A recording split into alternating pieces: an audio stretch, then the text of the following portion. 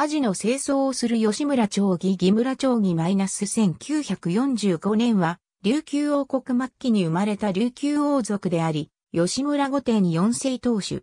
書道や絵画を良くし、また、空手家としても知られる。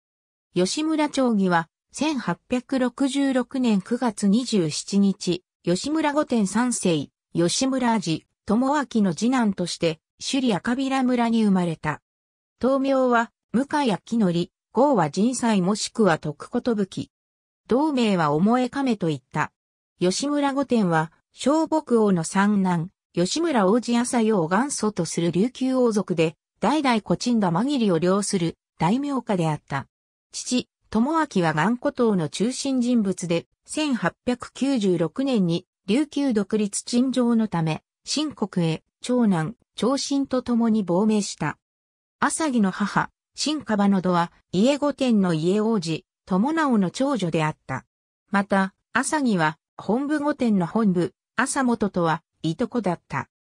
日本刀を手にする、空手姿の吉村町義義村町義は、検問の次男坊として、広大な御殿の中に育ち、多くの奉公人に貸し付かれて、気づきままに振る舞っていたが、11、2歳の頃より、空手を習うようになった。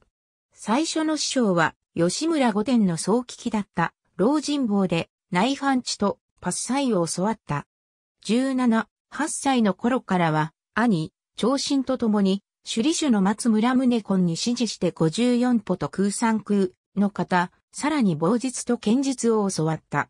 22、3歳の頃からは那覇種の東、女広市領にも指示した。当初、首里から月3回ほど通い、後には首里の邸宅へ出張してもらい、三振とペッチウリンを習得した。他にも10歳の頃より馬術を習い、19歳から23歳まで有名な馬術の師匠、牧屋に指示した。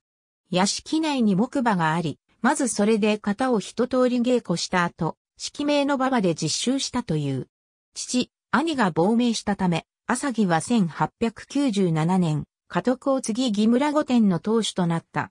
その後、父、友明は1898年に、兄、長馬は1906年に、復讐で隠ししている。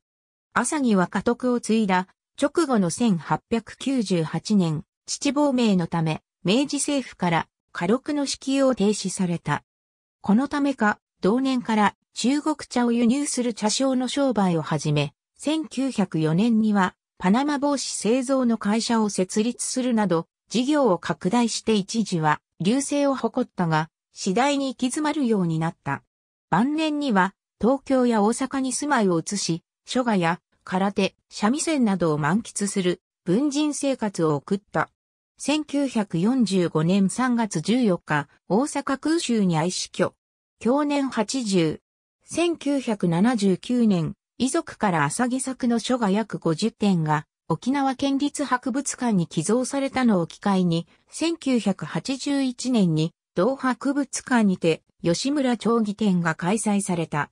魚眼レンズ、宮城厚正さんに、本部、朝本のいとこだった吉村町議は、空手の名手でもあった。そして書もたしなむなど、王朝時代に、士族の男子に求められた、文武両道の人だったとの紹介がある、吉村人才、自伝武道記。ありがとうございます。